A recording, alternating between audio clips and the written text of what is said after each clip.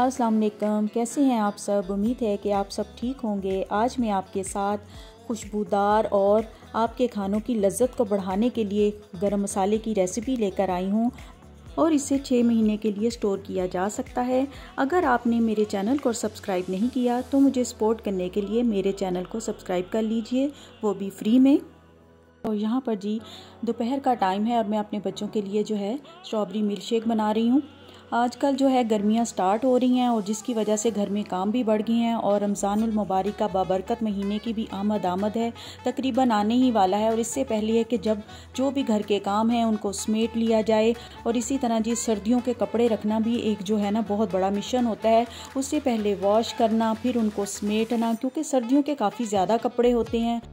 जैकटें और जो स्वेटर हैं, इनको मैंने अच्छे से वॉश करने के बाद जो है इसको समेट लेती हूँ। और समेटने के लिए मैं आपके साथ शेयर करूँगी कि मैं कैसे समेटती हूँ और इनको कैसे रखती हूँ। ये बहुत ही मुझे आसान लगता है और इससे जो है ये फ़ायदा होता है कि इन कपड़ों में डस्ट नहीं जाती। मैं इन शॉपिंग बैग का इस्तेमाल करती हूँ, इन में रखती हूँ और इनको बिल्कुल अच्छे से पैक करती हूँ। और ये भी बताऊँगी कि मैं इनको पैक कैसे करती हूँ, क्योंकि जब हम छः महीने के लिए इन कपड़ों को यूज़ नहीं करते तो एक हल्की सी जो ना डस्ट वो लग जाती है कपड़ों पर और बार बार वॉश करने से बेहतर है कि इन्हें इस तरह समेटा जाए, शॉपिंग बैग में रखती हूँ।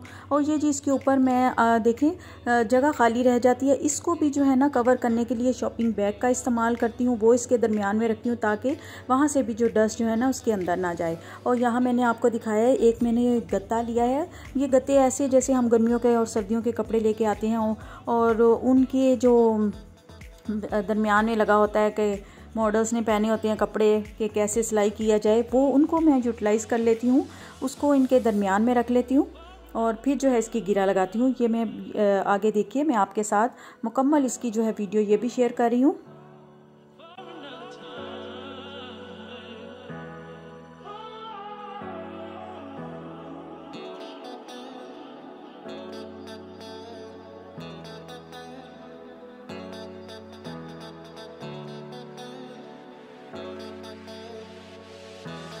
गरम मसाला बनाने के लिए जिन चीज़ों की ज़रूरत होगी, उनमें जाएगा सबसे पहले जी ज़ीरा, वन कप, आठ अदद बड़ी इलायची, वन टेबल स्पून सब्ज़ इलायची, वन टेबल स्पून जो है काली मिर्च, वन टेबल स्पून लौंग 10 से 15 एक इंच के दालचीनी के टुकड़े और 10 अदद तेज़पात थ्री टेबल स्पून इसमें जाएगा सूखा धनिया, आठ अदद बादियान के फूल जावित्री और जायफल दो अदद।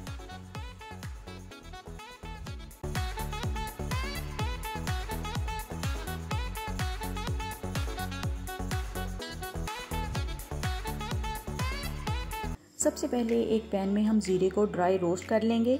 इसको हमने जो है 30 सेकंड के लिए रोस्ट करना है ताकि इसकी हल्की सी खुशबू आ जाए। लो, मीडियम फ्लेम पर इसको जो हम रोस्ट करेंगे, ज़्यादा हाई फ्लेम नहीं रखना। आहिस्ता आहिस्ता जो है इसकी खुशबू आने लग जाएगी और इसका कलर थोड़ा सा चेंज हो जाएगा। चम्मच को जो है मुसलसल चलाते जाना है ताकि इसमें इक्वल कलर आए। जब ज़ीरा थोड़ा सा भुन जाए तो फिर हम इसमें सूखा धनिया भी डाल देंगे और इन दोनों चीज़ों को मुसलसल चलाते हुए भूनना है। यहाँ तक कि इन दोनों चीज़ों का कलर चेंज हो जाए।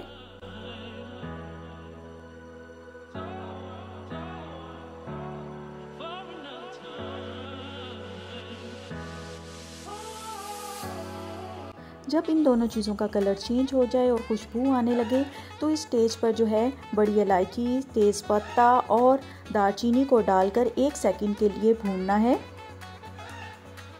बाकी चीज़ों को जो है रोस्ट नहीं करना, उनको हम अलग से डालेंगे और एक सेकंड भूनने के बाद जो है, इसका चूल्हा बंद कर देना और इसको ठंडा करने के बाद जो है, हम इसको ग्राइंड करेंगे और फिर इसमें हम बाकी की चीज़ें भी जो है मिक्स कर लेंगे।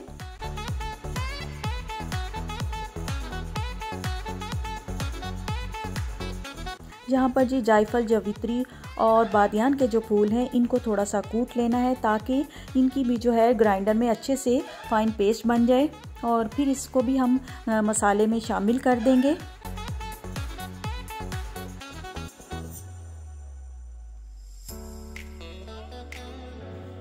और साथ ही काली मिर्च, लौंग और सब्ज़ इलायची को भी इसमें शामिल कर देना है। इनको हम रोस्ट नहीं करेंगे और फिर इसके बाद इन तमाम स्पाइसेस को ग्राइंडर में फाइन सा ब्लेंड कर लेंगे।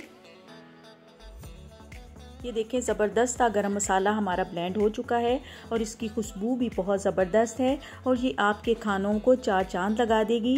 उम्मीद करती हूँ मेरी ये वीडियो आपको पसंद आई होगी। मेरी वीडियो अगर पसंद आई है तो कमेंट कीजिए लाइक कीजिए और शेयर कीजिए। मिलती हूँ मैं आपसे नेक्स्ट वीडियो में। तब तक के लिए इजाज़त दीजिए। अल्लाह हाफिज़।